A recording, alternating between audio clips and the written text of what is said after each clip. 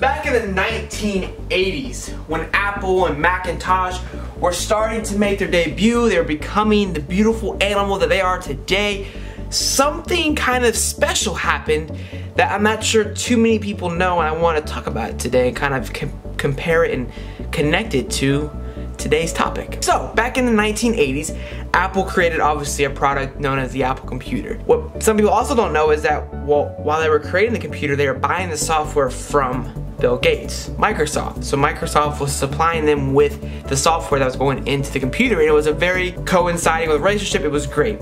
Steve trusted Bill almost too much. Steve brought Bill in to show Bill this grand new idea that he had for the next Macintosh or Apple, whatever he called it. Once Bill left that facility, Steve really didn't hear from Bill again. And that's because my man Bill took the idea and created what is known as the Windows computer. He created the Windows computer with his software and took basically stole Steve Jobs' idea. Once this happened, he no longer needed to supply Steve with software. So Apple basically was on this downhill decline to death. So that leaves us with an interesting situation here. My man Bill basically accomplished everything. He beat his competition. And that's key there. Remember that. He beat his competition. So Steve decides to make a phone call one day in the 1980s to Bill. Steve's got nothing to stand on here. He's beat.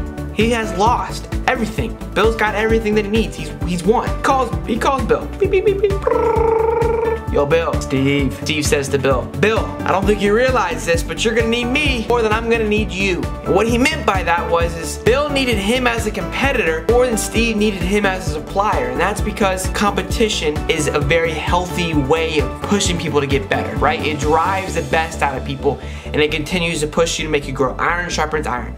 And I think, you know, Steve knew that and he had to make sure that Bill knew that because without Steve, I don't think um, Windows would be where it is today, and without Bill, Apple wouldn't be where it was today because they're constantly trying to overstep one another. Now you're asking, Shelton, how does this, what does this have to do with Wisdom Wednesday? I'm gonna tell you, fucking haters. But if you close your eyes. Good morning, guys. So, uh, yes, today's topic is about haters. And I got this inspiration from my buddy Ricky. He posted a video the other day about some haters that he's been dealing with. Well, actually, close people that he calls his friends that were hating on him. So, I wanted to kind of elaborate and build off that because I thought about it and I've, I've been thinking about making something like this for a little bit now because haters is something that we're never going to be able to avoid. But they're frustrating, they're annoying. Why? Why? My I don't think I will ever understand why somebody feels the need to put somebody else down for their creativity or for whatever it may be. But we live in a world where we have those kind of people and I think I'm starting to realize that. I don't think I'll ever have a full understanding of that, but I have to swallow it.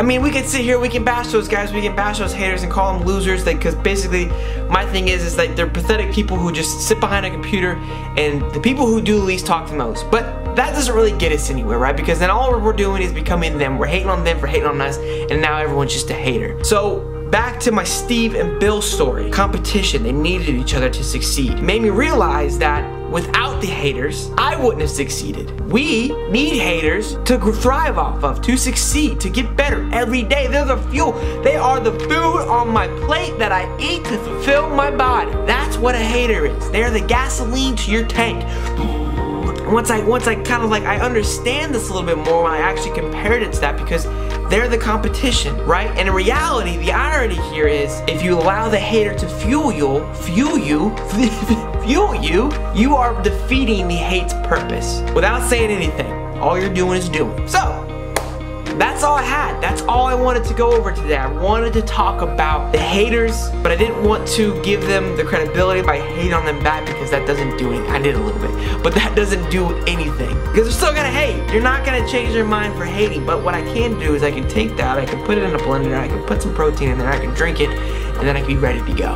So, eat the haters, swallow them up, continue to thrive off that competition, continue to thrive off the negativity and use it as fuel. It's a beautiful thing. They literally lay it out there for us, and we we, we, we, we push it away for some reason. In reality, we just take it in, learn from it, because sometimes even though it is hate, it is criticism in a sense. Maybe you can learn from it. I don't know. That's up to you to decide. But listen to the words, don't ignore it. listen to what they're saying, because even they may they may be, you know, being hate hatred about it, they might have some sense there that you could tweak and toggle with. So, that is it. That is my Wisdom Wednesday fucking haters.